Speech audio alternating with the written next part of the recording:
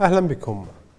على هامش حضوره عرضا لتجربة عملية لمشروع دمج الأجهزة اللوحية في العملية التعليمية بمدرسة سلوى الثانوية للبنات أكد وزير التربية وزير التعليم العالي الدكتور محمد الفارس.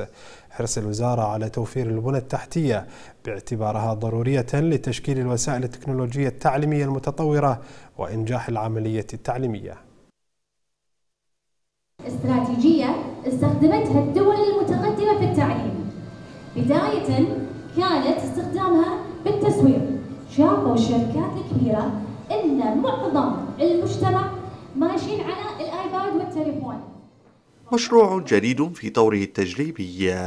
يعد توفيرا للأداة العملية والتعليمية وفرصة متاحة لإكساب الطلاب القدرة على الإبداع والابتكار اليوتيوب فيه وايد معلومات بس منها شهد وزير التربية والتعليم العالي الدكتور محمد الفارس عرضا لتجربة عملية لمشروع دمج الأجهزة اللوحية في العملية التعليمية. اليوم شفنا اليوم تجربة اليوم بس بشكل بسيط أن التابلت هو جزء مهم جدا اليوم لتوفير مهارة استخدام البرامج الإلكترونية التي تخدم العملية التعليمية.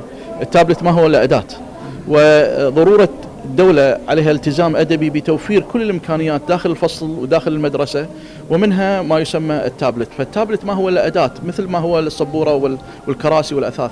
هو جزء أساسي اليوم في العملية التعليمية. التجربة الجديدة تهدف إلى إثراء قيم مشروع وثق القيمية في نفوس الطلبة والطالبات كالثقة في النفس والتعاون وتنشيط التعليم الذي يرتكز على الكتب والمناهج.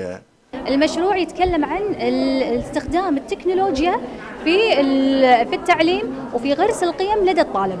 فإحنا من خلال التكنولوجيا ومن خلال البرامج الموجودة على الآيباد نستخدمها ونفعل فيها قيمنا للمدرسة ونفس الشيء نفعل فيها موادنا التعليمية ونوصل فيها المعلومات للطالبات بشكل ممتع وفن بحيث إن هم يستمتعون وهم قاعدين يدرسون.